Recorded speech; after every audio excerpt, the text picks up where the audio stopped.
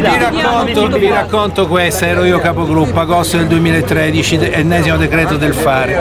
Fare che cosa? Lasciamo stare. fare niente. Caramazza, Per fare cosa? vabbè. Allora, eh, arriva un ingegnere ba- barese che è il proprietario eh, di Telenorma.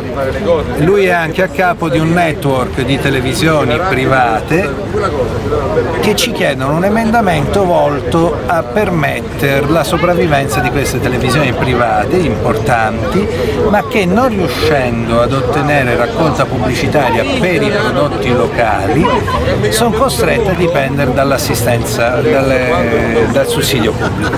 Noi replichiamo, guarda, forse noi possiamo venire incontro alle tue esigenze con una misura che va a normare il mercato della raccolta pubblicitaria. Il prodotto che ha eh, commercializzazione non nazionale avrà un vantaggio ad essere veicolato dalla tv, dal giornale locale. In questo modo tu raccogli e eh, ottieni da un prodotto che è espressione della tua specificità e cresci insieme a quel prodotto.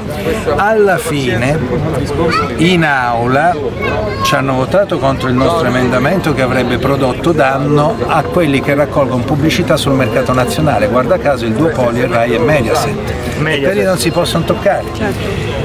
Si sono presi 18 milioni di euro che inizialmente erano previsti per, per l'implementazione della banda larga e sono stati dati come sussidio a queste televisioni private locali per poi l'anno dopo rigiocare la stessa pantomima perché queste sono risorse che ti permettono di sopravvivere un altro anno.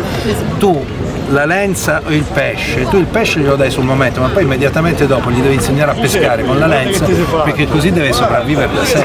Se invece io impongo che la mozzarella di Gioia del Colle faccia pubblicità con, eh, con Canale 5 e non con Telenorba, è ovvio che poi Telenorba mi va in difficoltà anche l'anno dopo. Invece io gli devo permettere di conquistare autonomia.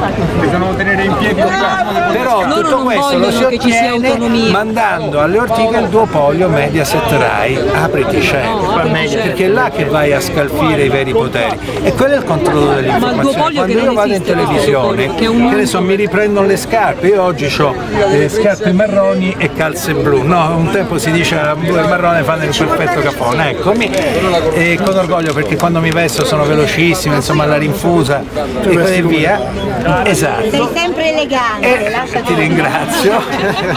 e insomma loro alla fine ti rimarcano quel particolare per squalificarti, per denigrarti, per distruggerti. Eh, capito? Che ne so, ho un capello arruffato, ho un occhio gonfio, quello è.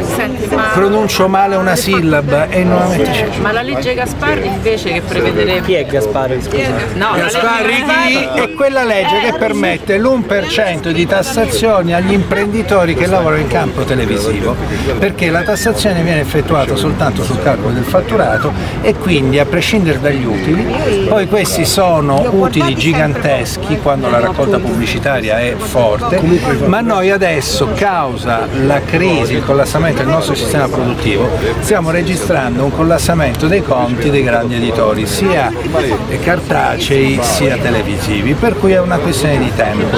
E Gianroberto ha pubblicato sul blog quell'analisi per cui nel 2017 cesserà la pubblicazione di quotidiani cartacei negli Stati Uniti, nel 2027 probabilmente in Italia, ma fatemi ecco una cortesia. I giornali certamente leggiamoli, ma non è detto che i giornali siano quelli di carta come li conosciamo. No, no, certo. Ormai hanno tante altre condizioni e soprattutto non alimentiamo il mondo de benedettiano perché è quel mondo il nostro vero avversario. Esatto, nemico. Quando Sorgenia alla fine di gennaio stava per saltare per un miliardo e 800 milioni di euro su cui tranquillamente nessuno ha detto niente, soltanto il Fatto Quotidiano e pochi altri quotidiani e la cosa è andata Però ogni tanto...